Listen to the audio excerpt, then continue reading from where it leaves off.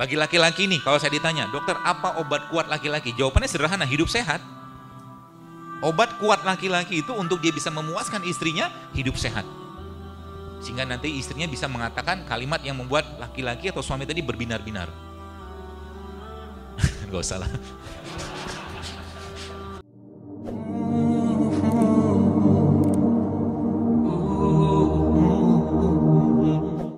Dan siklus alam ini atau siklus pergerakan bumi ini di situ kita, di situ kita akan belajar bagaimana sebenarnya kita selayaknya kapan harus makan, kapan harus tidak makan, apa yang dimakan, apa yang tidak dimakan gitu loh. Ya. Contoh mungkin pagi-pagi nih, sering saya sampaikan, pagi-pagi itu paling bagus makannya apa? Bubur ayam. Karedok. Karedok oke okay lah. Kupat tahu. Uh, pagi ya kalau orang sarapan, bahasa Inggrisnya kan breakfast. Betul? Fast yang di break. Jadi puasa yang dibatalkan. Kapan kita puasanya? Nabi kita alaihissalam ketika malam habis isya beliau ngapain? Tidur. Puasa nggak kita? Puasa. Tubuhnya teristirahatkan. Pagi kan bangun. Jadi malam itu sebenarnya kata Allah dalam Al-Quran waja'alna laila libasa. Kata Allah kami jadikan malam sebagai istirahat. Maka waktu malam jangan lagi makan banyak. Itu kata kunci pertamanya. Kalau anda mau hidup lebih baik, lebih sehat, malam jangan banyak makan. Ya, komitmen nggak kayak begini? Mau? Allah saksinya ya. Baru saja kayak begini nanti malam, eh baksoan yuk, gitu kan? Apa yang harus Anda katakan? Nauzubillahiminasyaitonirrajim.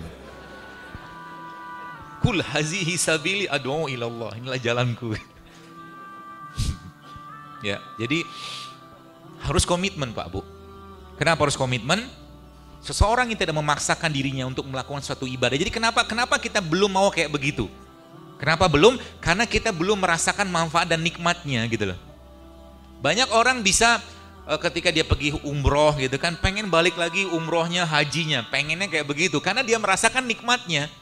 Kenapa orang belum mau hidup sehat? Karena dia belum merasakan nikmatnya.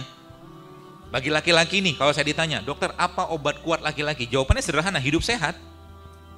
Obat kuat laki-laki itu untuk dia bisa memuaskan istrinya hidup sehat. Sehingga nanti istrinya bisa mengatakan kalimat yang membuat laki-laki atau suami tadi berbinar-binar. Gak usah lah Bahaya nanti. Karena rijal qawamun ala nisa. Maksudnya laki-laki itu pemimpin. Gimana mau jadi pemimpin? Ya, gimana mau jadi sosok yang bisa dikagumi sebagai sosok leaders apa leadernya, imamnya gitu kan? Kalau yang dimakan, makanan-makanan yang melemahkan justru imunitasnya dia. Betul Pak Bu?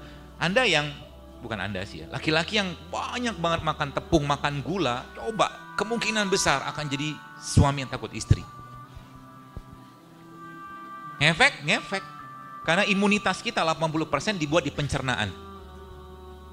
Ya. Terus juga beberapa kali saya lihat nggak boleh laki-laki itu apa namanya suami itu ya khususnya ya maksudnya suami itu dia punya izah yang luar biasa maka dalam sebuah hadis Nabi pernah menyatakan ada seorang wanita mau di, lagi mau nikah dia ditanya sama dia bertanya kepada Rasulullah ya Rasulullah apa hak suamiku terhadapku kata dia gitu terus apa yang dikatakan Rasulullah Nabi nggak jawab panjang lebar tapi jawab Nabi jawab dengan sebuah jawaban yang ibarat kata wanita itu nggak bisa nggak nggak tahu lagi harus ngomong apa. Kalau seandainya di dada suamimu ada luka yang bernanah lalu kau bersihkan dengan bibirmu maka itu tidak cukup untuk menggantikan hak suamimu. Itu peran suami itu kayak begitu. Ya, saking dahsyatnya suami gitu loh. Kalau seandainya suaminya benar, bener makanannya, bener sikapnya gitu kan. Tapi kalau suaminya begitu-begitu aja, pagi siang malam misalkan ya makannya gitu-gitu aja gitu loh. Makan makanan nggak sehat, saya nggak tega ngomong yang biasa itu.